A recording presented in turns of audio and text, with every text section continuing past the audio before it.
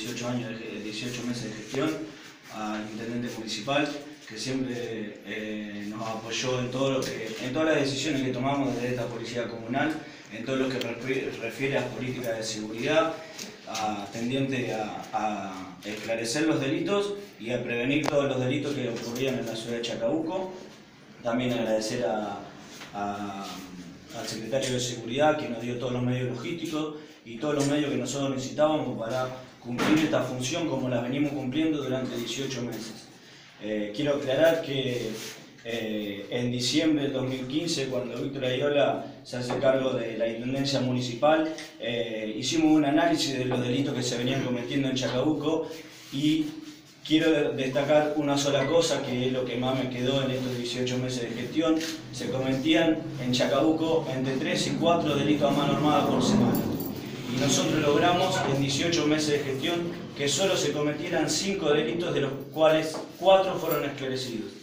metimos, encarcelamos y metimos preso a todos aquellos que cometían delitos de mano armada en Chacabuco y no solo eso, sino también metimos preso más de 70 delincuentes durante los 18 meses de gestión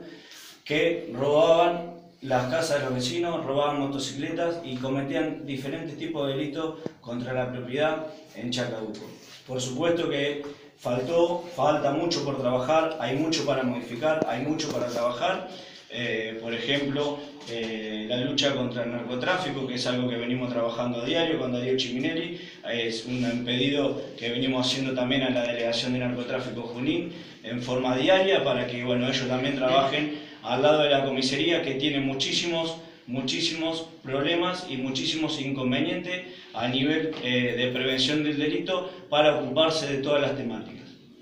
Referente al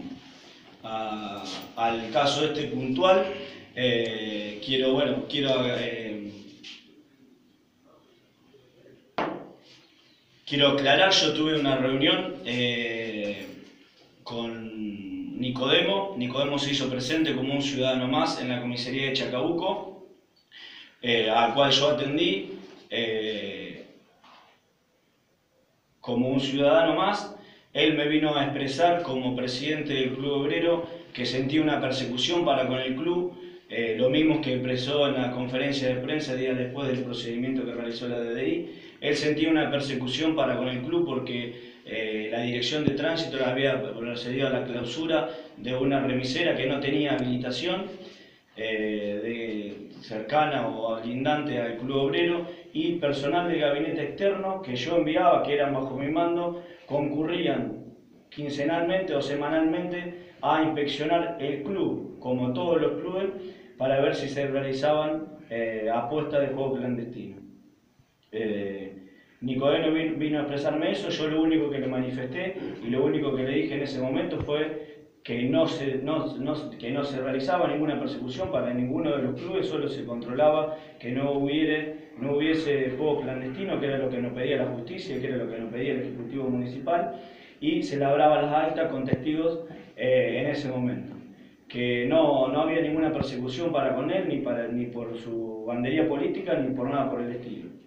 En ese momento yo le leí lo que dice la ley, porque tengo un código en, la oficina, le leí lo que dice la ley respecto a la prohibición de, del juego de azar con apuestas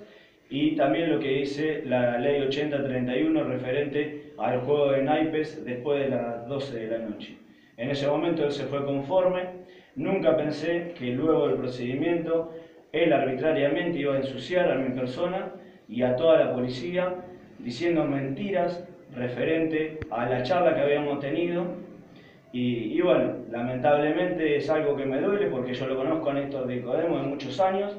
y, y, me duele que haya mentido, que le haya mentido el juez, que haya mentido la sociedad eh, referente hacia mi persona, porque yo en ningún momento le dije a Néstor Nicodemo que podía jugar por dinero en ese club.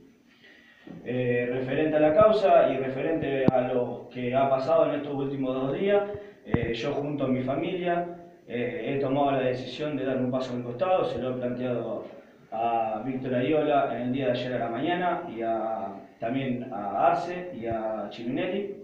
referente a dar un paso al costado para eh, darles a las autoridades judiciales la plena libertad de tomar la decisión que corresponde. Si yo soy responsable de que en el Club Obrero jueguen eh, por apuestas clandestinas, que me sancione como debe ser y pagaré lo que tengo que pagar como corresponde como un ciudadano más. Por eso doy un paso al costado para que la justicia tenga la plena libertad de juzgarme como un ciudadano más y no como jefe de la policía de Chacabuco. Eh, ayer eh, en una reunión con Víctor y con Darío, ellos me plantearon la, la necesidad que tenían de que yo me quede en Chacabuco para trabajar por los vecinos, pues como venimos trabajando estos 18 meses, casi trabajando 20 horas diarias. Eh, y bueno, en definitiva, en la tarde de ayer yo eh, unilateralmente, junto con mi familia, he tomado la decisión de dar un paso al costado y dejar que bueno, ellos eh, pongan un nuevo jefe de la estación de policía comunal para poder que la justicia eh, en definitiva la Cámara de Apelación y Garantía, quien va a tomar la última resolución, eh, tenga la libertad plena de eh, condenarme o absorberme en el caso que, que corresponde. Los que me conocen de cerca saben cuántas horas yo le dediqué a esta, a esta función, saben que no solo dejé muchas horas de mi vida, sino que dejé mis hijos en Lincoln, eh, dejé de, ir a llevarlo al jardín, dejé muchas cosas de eso, mucha, eh, mucha función de padre lo he dejado en esta comisaría, pero no solo por orgullo propio, sino porque el primer día que me junté con mis policías, con todos los efectivos que cumplieron esta función y que logramos este, estos frutos durante estos 18 meses junto a ellos, porque yo solo no hubiese, no hubiese podido lograr eh, todos los frutos que logramos en 18 meses, no hubiese podido encarcelar a los delincuentes que hoy están en el penal, en la cárcel, sin la ayuda de ellos. Siempre recibí el apoyo de todos los efectivos, así que el primer día que me junté con ellos, eh, le dije y le expresé, y, hoy mismo, cuando, cuando me, ayer anoche cuando me fui a casa a descansar, eh, le, le, dije que siempre luchen por cambiar la visión que tiene cada uno de los vecinos cada uno de los ciudadanos para con el policía. Ya no sirve más la policía que recorre en el móvil y pasa y los vecinos eh, ven solamente un maniquí arriba del móvil eh, recorriendo. Nosotros necesitamos un policía que sea reconocido por el policía por la labor que realiza. Eso fue lo que le inculqué durante 18 meses a los policías que trabajan hoy en Chacabuco.